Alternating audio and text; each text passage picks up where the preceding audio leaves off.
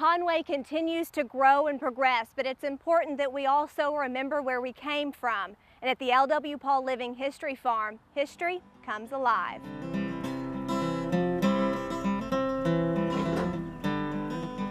The success we have in this county today, uh, it started on a place like this.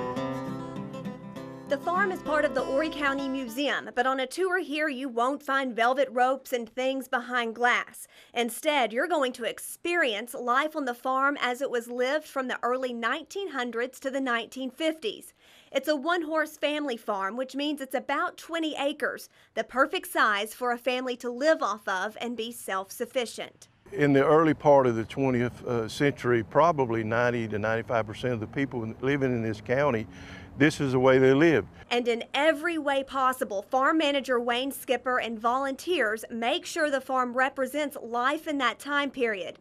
It's a 365 day a year job. Or for Wayne, it's more of a chance to pay homage to his roots. And being able to carve out a, a, livelihood from a very small piece of land with the skills and the animals that they had.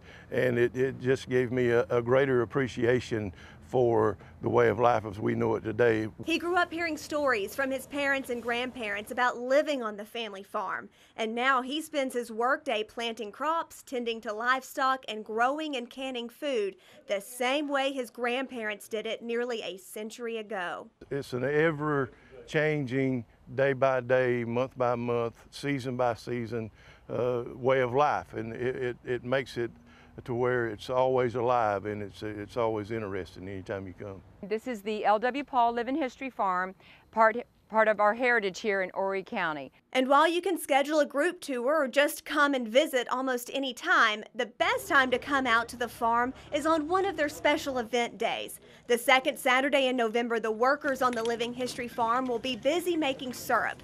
In addition to seeing Minnie the Mule crush the sugar cane for syrup, you can also see volunteers demonstrate the skills necessary to carve out a livelihood here in Conway during the early 20th century. We'll have a blacksmith working in the blacksmith shop. We'll run the sawmill. We'll have someone doing some singing in the church. We'll have cooking in the house. I've been out to the L.W. Paul Living History Farm several times, and every time that I get to come, I see something different and I learn something new.